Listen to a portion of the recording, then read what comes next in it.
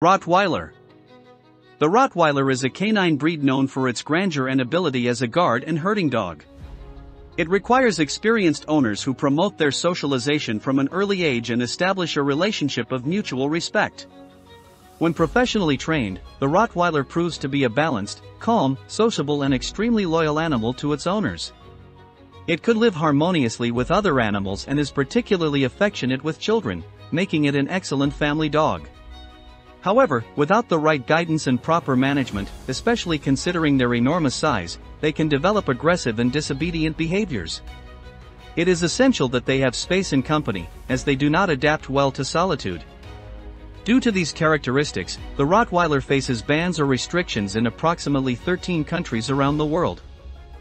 Rottweiler, often subject to bans and restrictions in countries such as Ireland and Portugal, due to its size, strength, and history of aggressive incidents.